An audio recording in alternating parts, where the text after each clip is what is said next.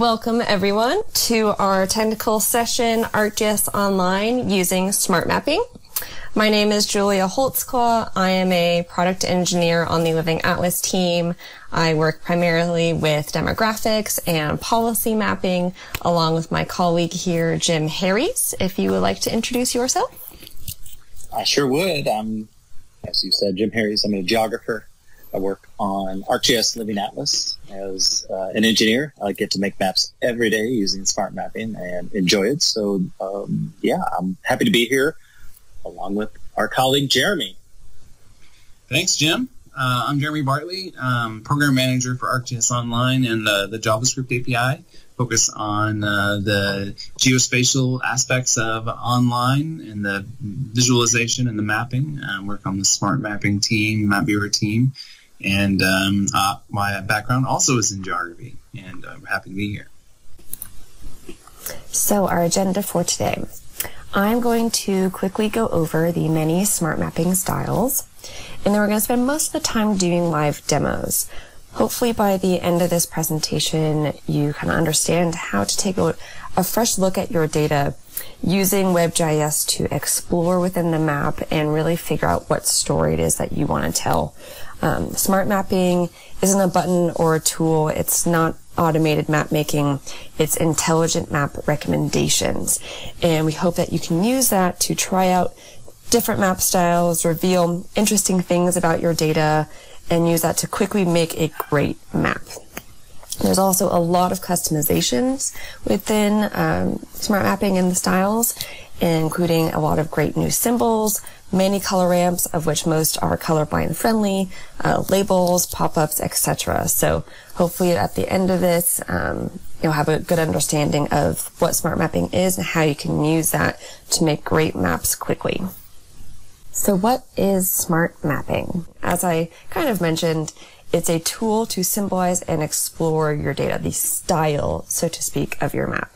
So it gives you intelligent, smart defaults based on your data.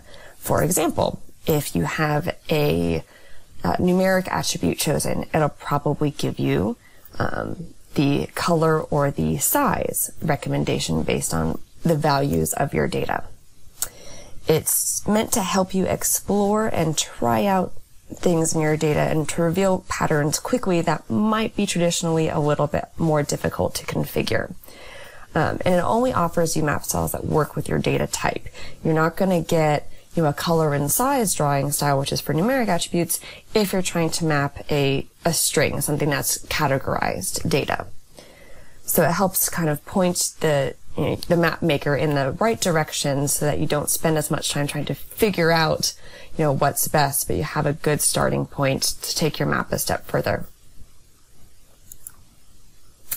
So some of the smart mapping styles, we have color and size, color and size, compare A to B, um, relationship and then relationships with size, predominance and predominance with size, types, time, dates, uh, single location. So let me go through each of these individually. So visualizing one attribute, we just have location. So that's just your single symbol. You just want to know where you know, your points or your polygons or your lines are on the map. Then we also have types. So that's if you have categorized data, um, you can visualize each of those different categories within your attribute as a unique symbol. We also have color, which is kind of your standard choropleth map that I'm sure many of you are familiar with. And then we have size. So the larger the value is in your data, the larger the corresponding symbol will be on the map. Then we also have color and size. So this visualizes and compares multiple attributes. So in this case, two. So you're going to have one attribute, which is going to be in a color, and you're going to have another attribute which will denote size. It's often used with um, a percentage and a count. So the percentage showing the color, and then the corresponding count showing the size. We also have types and size. So you can take your categorized data then also show a size based on, um, if you have a corresponding size based on your category. So we have compare A to B. What compare A to B does is it shows a ratio between your first attribute and your second attribute.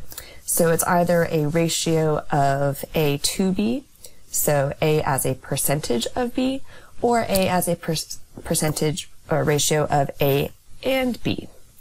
So perhaps um, you have acres of corn and you also have acres of soybeans and you want to compare those together or you want to compare your acreage of corn to the total of acreage of corn and soybeans. We also have dot density. So dot density takes your multiple attributes. So you see in this example, it's uh, our different races and it takes the value and com- converts that to a dot. So in this case, one dot equals nine people. So the denser the cluster of dots, the higher the values are in your data. So this is a great way to show, in this case, its population, but also things like uh, the farming example I just used.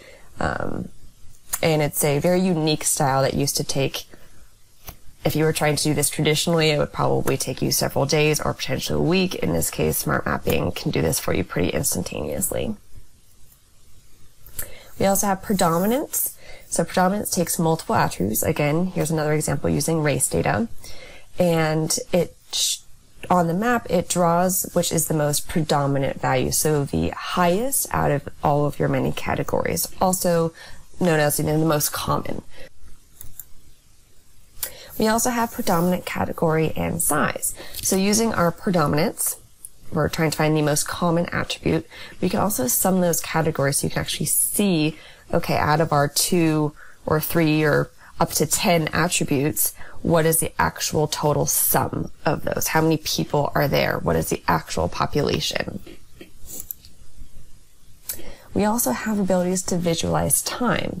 So we can do continuous timelines like this example where we want to see where things are built. So the lighter the color, the earlier the buildings were built, the darker the color, the later it was built. We can also show, you know, where are the oldest buildings. So we can use time and do uh, sizing with those dates so that we can show the oldest cluster of buildings um, that were built in the 1870s, like in this example, are in these areas. And the smaller points are for the buildings that were built more recently. So we can answer questions like how long ago this did this happen? How old are these points or how old are these buildings? We can also use themes. So when we're mapping color or size, um, we can show above and below above, below, centered on, or extremes. So this helps kind of filter out some of your data values. Not all of your data is important. You know, sometimes you might just want to focus on the outliers. Sometimes you just want to look at the bell curve and you don't want to focus on those outliers. That's what these themes are really useful for.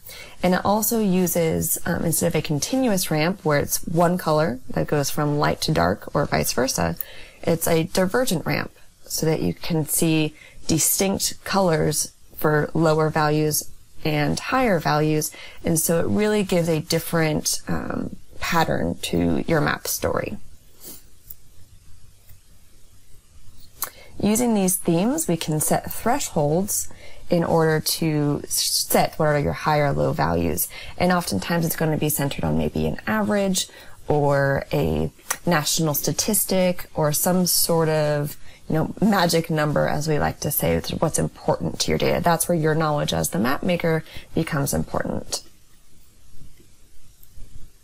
And so now let's go on and start exploring some of these smart mapping styles with uh, our demo. And I believe Jim is going to lead us off. Well, thanks, Julia, for getting us started.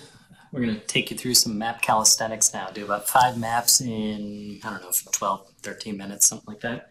We're going to do clustering, we're going to do size, we're going to do color, we're going to do color and size, and then lastly, predominance. Let's start with clustering. How many times have you ever fallen into this situation where you've got a layer with so many features that the number of points on this map is actually obscuring any pattern present in the data. And that's, that's kind of ironic if you think about it. Like the map should reveal, not obscure. And it's just the nature of the number of features at this particular scale. It's not a useful map. I don't care how small I make these points, we're still not get much signal out of this map. Now I've symbolized this by a attribute layer or an attribute called downstream hazard potential for this national inventory of dams. And if I choose this layer and choose the styles option, I can then close this and I get a lot more map space. I also uh, collapsed these labels for all the tools to give myself a little bit more space. So here we are. We've got this map. All of the dams are categorized into one of these four hazard potentials, and the reds are obviously the ones that might be of interest. If I go to clustering and simply turn on clustering, the map gets instantly better. That's what I love about clustering. I can immediately go in and change the cluster radius. So maybe I want fewer clusters covering greater geographic areas, or maybe I want more clusters, smaller clusters. In fact, you can go to a point where it's, okay, that's not useful. Let's, let's dial it back. But the cost for me to try that out, it's minimal. You know, it's just an easy thing for me to try out. And that's that's one of the things I love about smart mapping. It really shines when you're trying to explore and reveal patterns that traditionally are very difficult for you to configure in the map's properties and settings. You know, you got to go over here, click here, do that.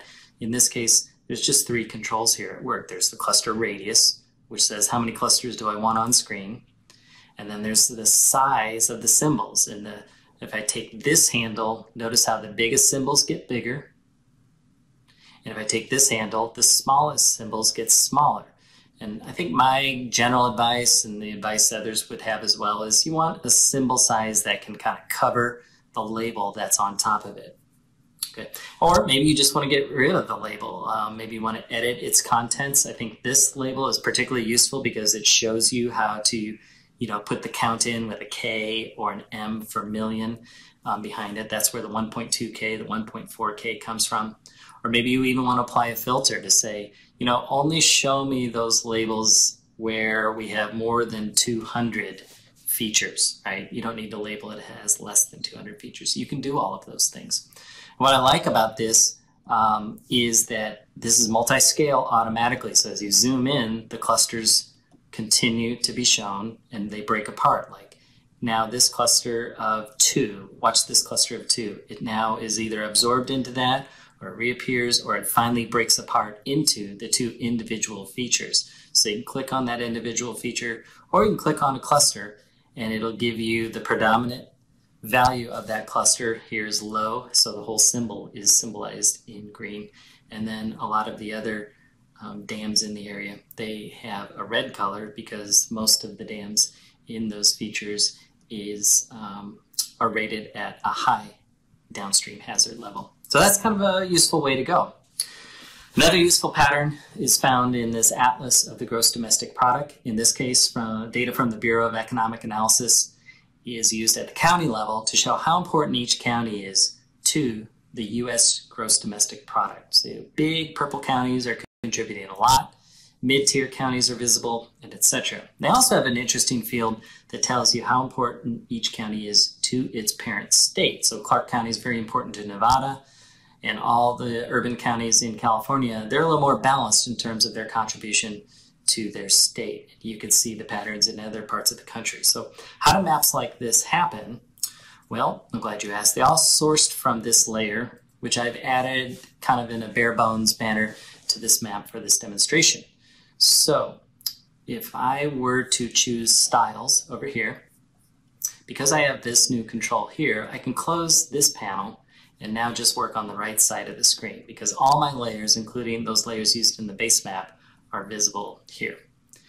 And I'm going to map just a simple count. I'm going to, I happen to know that we have a field called all GDP from all industries. If I want to I click on the information button to see what that definition is and some sample values, etc. So I'm going to choose GDP from all industries, and uh, I'm going to choose the counts and amounts size style.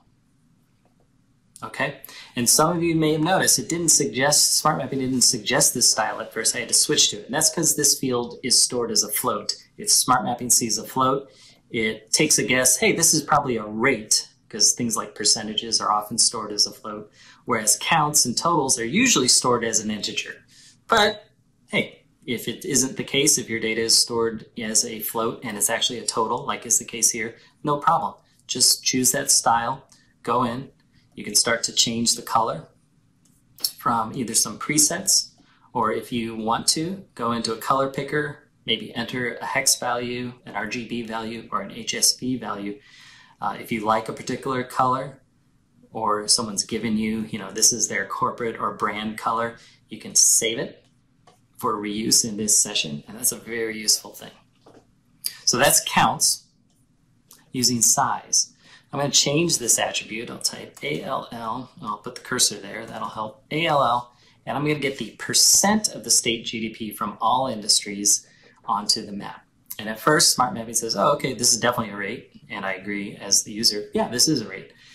And uh, the default style is called high to low style. That's where we take a single color ramp and kind of smear that color from one standard deviation below the mean, which is 3.4, to one standard deviation above the mean, 6.8.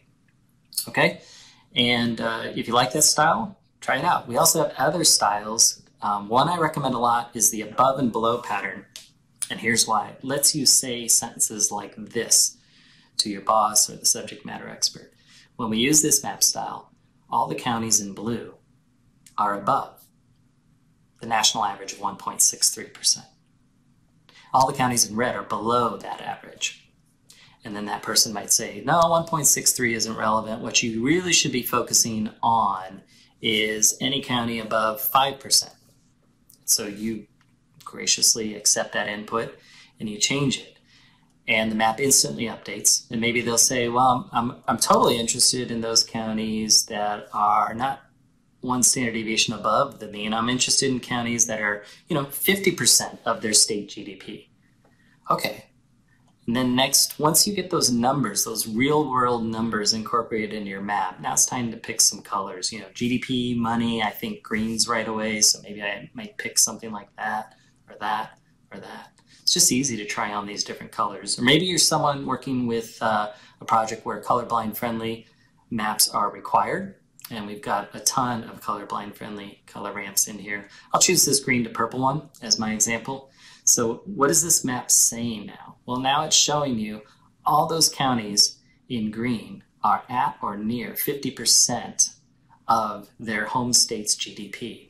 So we can see how important LA County is to the state of California, Clark County is to Nevada, Maricopa County is to Phoenix, and so on.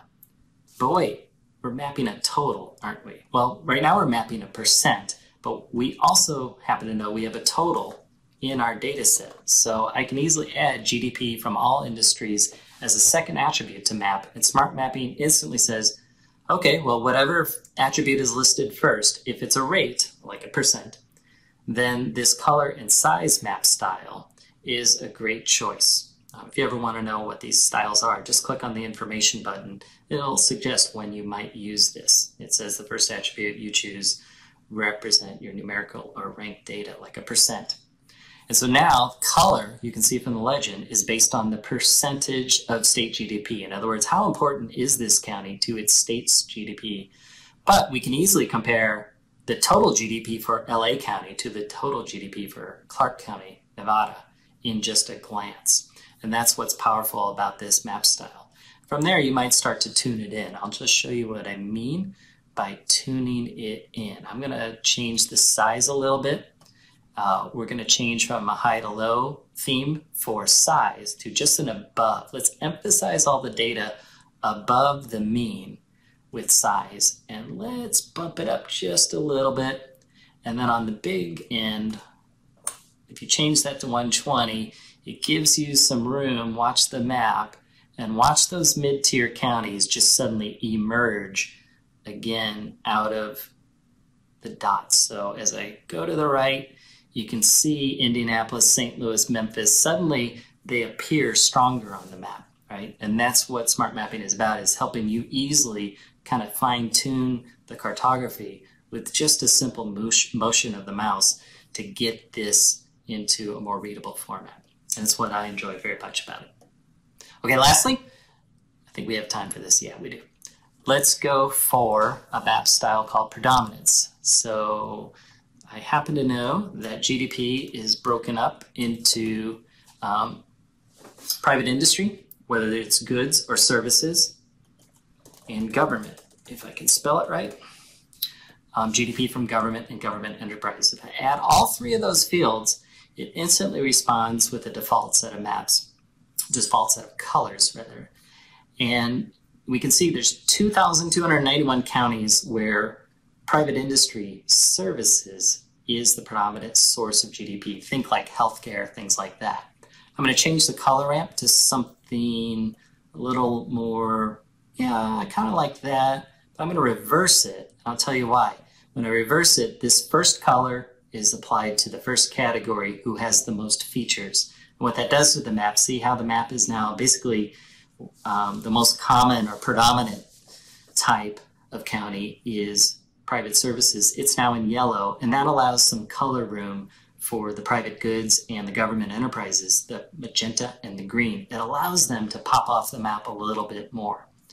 And again, we know that this is a topic related to total GDP, a count, so we really ought to work size into the map. And when we do, the map instantly gets better by showing you little pockets of magenta, little pockets of magenta here. And then you can see interspersed a lot of smaller counties, their predominant source of income is government spending, which kind of, um, you know, depending on your familiarity with the U.S. economy and how the government um, spends, that is consistent with what we um, might expect. Okay, so just in these few examples, we've been able to kind of see that smart mapping isn't a single button or a single tool. It's really about incorporating a way of thinking into your experience in ArcGIS Online Map Viewer to kind of help you explore the data, easily try out map styles that reveal interesting things, and then start to fine tune it based on what you know of the subject matter. Don't just accept the default values. Go do the research to find out, well, why are people looking at this subject and what are the significant values that they might be thinking about or that you can reveal in the map it's more about focusing on your attributes meaning than setting tons of map properties in order to see a map for the first time. As you can see, once you kind of start working this way, you can continue uh, to refine the map as you go. Because you're the key, you're the sparkle light that directs smart mapping to illuminate what matters most in the data. But to illuminate it, you got to discover it first. And that's what um, we hope you'll find valuable here. Uh, I think Jeremy's got more examples uh, right now. All right, thanks. Um, let me just I'd like to go through a couple examples here. Um, I'm going to highlight a couple of mapping styles. Um, the relationship style. Um, I'm going to do a little bit of exploration with the filter. Um, and, and I'm going to show you how uh, charts can now be used as part of your data exploration experience or communication experience. So I'll show you charts. And finally, um, I'm going to show you a new map style that uh, went in in April. Um, single single variable above and below. Okay, let's let's drill into it first. So I've got this. Uh, these are census tracts in the U.S. You know, quite a bit of data. This is like uh, 70. Um, uh, 71,000 uh, records and quite a, quite a few attributes that I can work with. And um, let's just get in there and explore this data. So this is my uh, layer that I've got selected, the layer I'm working with. And I'm going to hide this layer panel, get it out of the way, because I can switch through to other layers up here in this experience. So I can get get that get that out of the way. Let me focus on the work. Okay, uh, let's just dive in. And first, we'll do um, a map of show you what each of these looks like on their own. Um, map of diversity index. We'll just take the defaults here, um, just to kind of get a feel for this data.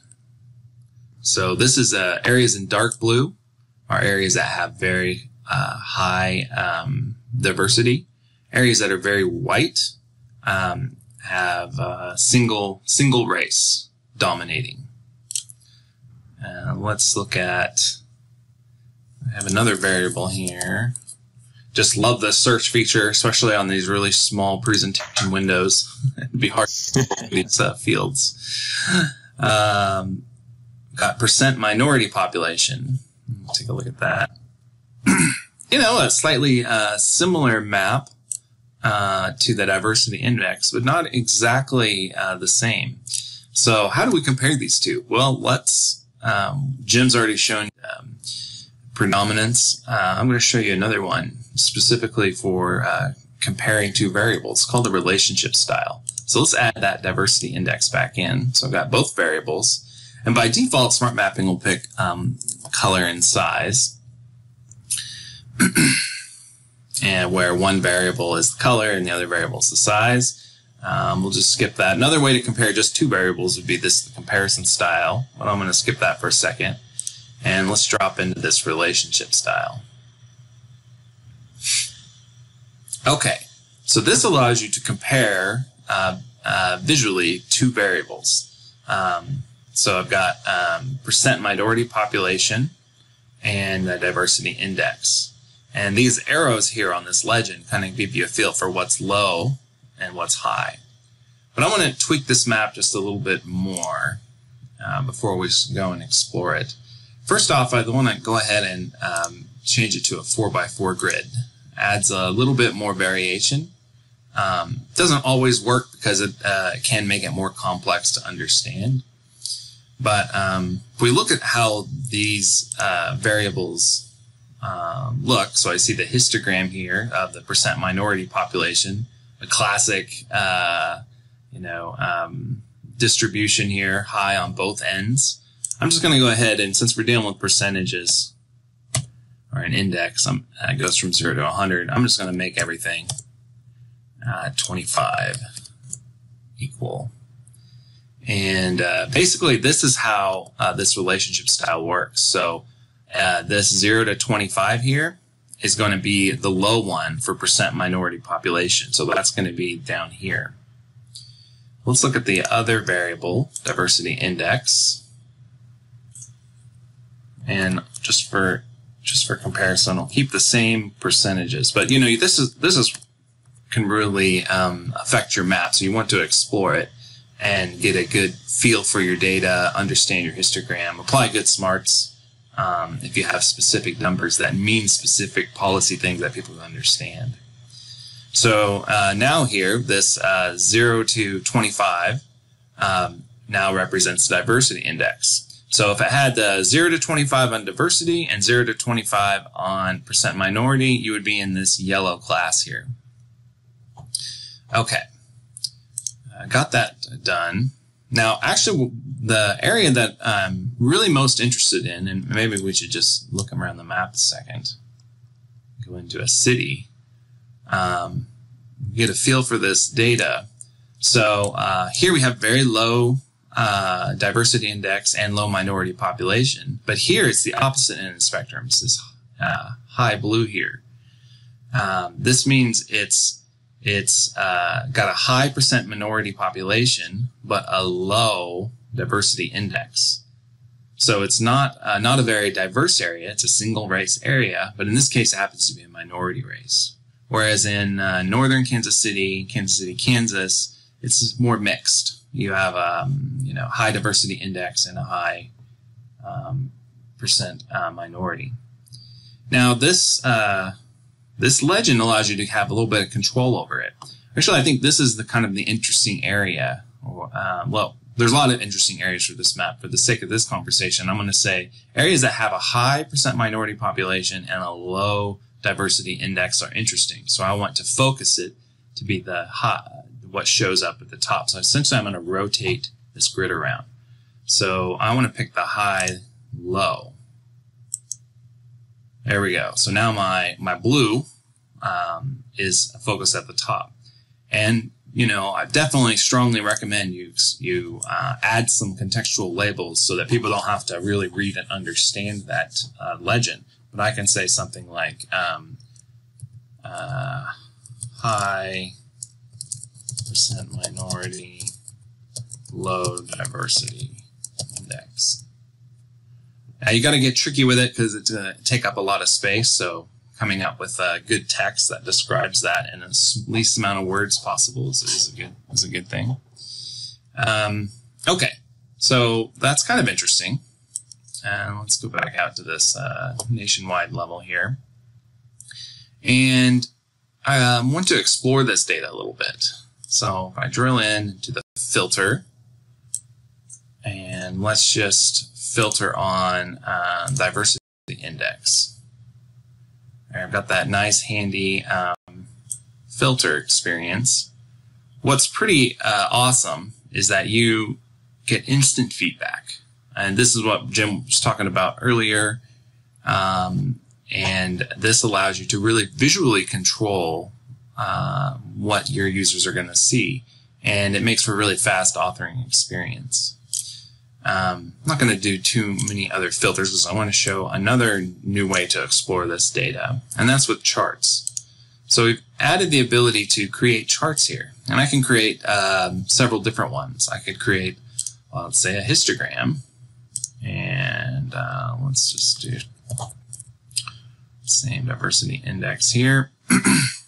I get that same uh, uh, view that we saw in the smart mapping experience. I have control over the colors. I can apply uh, what's the normal distribution. If it wasn't a normal distribution, I can apply some transformation.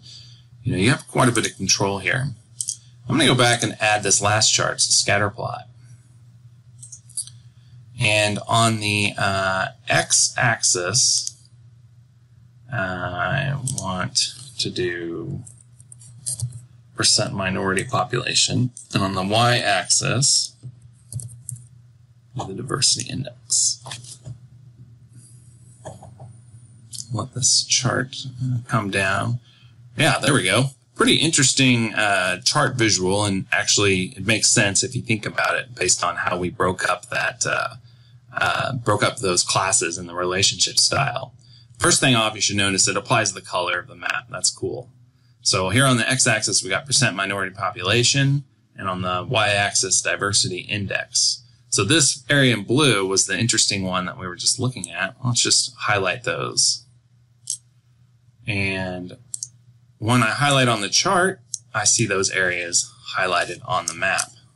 So I can go in and explore what that looks like, whether it be in Chicago, uh, up in Detroit or uh, Cleveland area. So yeah, pretty interesting. Pretty good way of exploring um, your data kind of fast and interactively. Um, got one other style I'd like to show. And let's go back to the Kansas City area since I'm more familiar with this part of the country. Okay. Um, I'm going to close this and I want to work with this other data set that I've got. This is housing information by census tract. And um, let's just flip to that layer. And uh, sorry, get into the map style. And uh, this has uh, percent change in owner occupied households from 2000 to 2020. So I enrich this data with the geo-enrichment tools in the classic map viewer. Um, well, let's select this variable. It's a pretty interesting one. So um, not much to see at this at this uh, at this scale here, uh, but let's explore some of these other mapping styles. So I can use color, or I can use uh, size.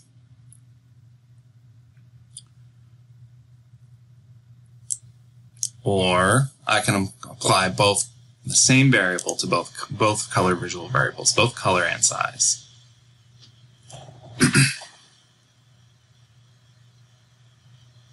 oh, sorry, I picked the wrong one. Here we go. Now I picked the color and size. See, my legends changed. I've got a size variable along with color. Uh, the default experience is not is, is not what I really want to show you because I really want to show you some of the themes that are in here. And a new uh, at the April release this year is this above and below style theme. And notice what we've got on the legend here. Uh, let's scroll down. First off, we're using a third visual variable, the shape of the legend feature. Let's scroll in so we can see it a little bit better. Um, to indicate things above and things below zero. Now this uh, is highly skewed, of course, so let's get this into more um, things that make sense. Let's set it to 200 and go ahead and set the top to 200. All right, there I've got my nice histogram close to centered around zero, and zero is the inflection point. So above that, you're going, as you get farther away from zero, you're going to get a bigger size, and it's going to be colored blue. Um, as I get farther away um, below zero, uh, it's going to get bigger as it grows. Now, one tricky uh, thing with this style, well, first off, is just like before, you have control over uh, how the sizes are displayed. What are the min and max sizes? Let's get just kind of zoomed into this Kansas City area. So I can control what's the overall size difference. I can also control how um, uh, how the data is mapped to size. So before I do that, I want to call out this new slider here and new legend. So uh, 200 is uh, twice as much as 100. So um, this slider keeps the sizes correct. So this caret at the minus 100 is actually half the size of this caret at above 200. Now watch what happens as I move this slider down to 100. Now they're exactly the same size. Uh, so this uh, is a really nice enhancement to keep your maps correct while still allowing you to visually explore that data. And you get a pretty interesting, um, pretty interesting map. And if it's even more interesting if you apply some other variable on it on context, so you can see where we've had major house drops. Um, I guess another couple of things is you have different options here for the symbol pairs. Maybe you want to go with uh, closed circles, open circles. Um, same thing for squares. Maybe you want to do uh, arrows with circles. It helps them stand out a little better. Uh, or even like just straight up triangles, going up, going down. So this is a pretty uh, interesting style uh, that I'm pretty excited that uh, we have it out there, and we think you guys are to make some great maps with it. And Jim, um, Julia, anything you want to add? I just think that's super cool with the, uh, the scale that it keeps the legend correct. Um, I know that's something that uh, cartographers that have been in the business for a long time is going to be really excited about. Uh, that it's actually visually accurate because no one wants to have to go make a custom legend. Exactly. yeah, I really enjoy how these tools all allow the person working with the data to focus on what what's the message they're trying to communicate. You know, what are the significance of the numbers, and uh, that's what I appreciate most about smart mapping. It's always trying to encourage you to find those significant numbers out in the literature or from your own subject matter expertise and bring those numbers into the legend. And that's where all the magic happens. When you bring those numbers that have meaning in the real world, bring those into your map, you know, um, suddenly it kind of jumps to life. Definitely. All right. That's it for my demos. Pass it back. Thanks, Jim and Jeremy. Those were great examples of all the many, many different smart mapping styles and how to use those to kind of try on different uh, styles for your map while exploring your data. Um, to close out here, I want to show a few of the different symbols and techniques you can use um, that are fairly unique, maybe possibly underutilized, um, that can make your map um, just stand out a little bit above the rest. So if we look at this map that I have here, it's showing the percent minority population without health insurance and the count of minority population. So as you've seen, this is a kind of standard color and size map. But what might look a little different are the symbols that I'm using. Um, this uses kind of a plus sign versus the standard circle, possibly square or triangle that you might be used to seeing. So if we go look at our style in here, and let's just say for sake of argument, I uh, was to change this back to one of our more often seen basic shapes. What I'm getting right now is kind of what I call a blobby map. Obviously, we would need to adjust some of these breakpoints and some of these sizes because we're really not getting any clarity in here. Um, it just kind of, you can't differentiate between the different counties. And in my map, I'm showing the percent without health insurance and also the count. Now, the problem with this map as it is now is it's rewarding the urban areas, the places with higher population. But that doesn't mean that areas that possibly have a high percent, which is, you know, the normalized value, but even though they have a lower count, should be any more ignored. You know, if we look at these areas up in the North Midwest, you know, they have a small population, but they clearly have a high percent without health insurance. So I still want to reward these areas and have them stand out without it looking like your typical population map. And so how I do that is by going to the plus for the basic shape. This and the little kind of cross, X marks the spot here, um, aren't often used, but when I click that, see the kind of effect that it has.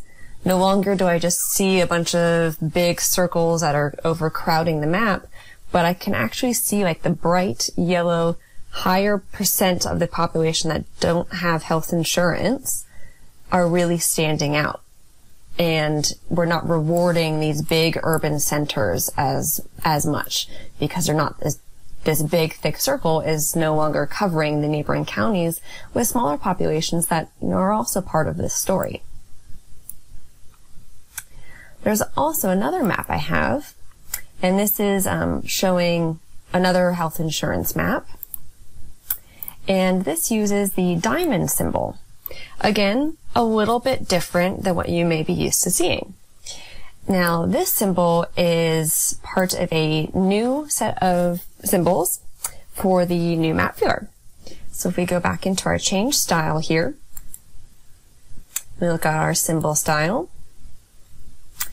So instead of choosing one of the basic shapes, we have all these vector symbols. Um, the symbol pairs are what you saw earlier when Jeremy was showing the you know, above and below. And I'm going to take a look at these shapes. So these are some new shapes that we have. Some of these are kind of similar to what currently exists for the basic shapes, but we also have this diamond. So it's a little bit skinnier, a little bit more refined than your standard kind of more square diamond. We also have kind of this thicker plus sign. We also have um, a pentagon right here. So here is another example that uses one of those new um, new symbols, it's the hexagon. This is a map of the gross dom- domestic product layer that Jim had shown earlier, and it's showing manufacturing. And manufacturing kind of reminds me a little bit of factories, machines, you know, you're building things. So a hexagon kind of is like a gear, maybe. And so it's, you know, related to the map topic, but it's a unique symbol. So not only is it related to the topic that I'm mapping, but it's also a little bit more eye-catching and it stands out more than your standard circle or square might.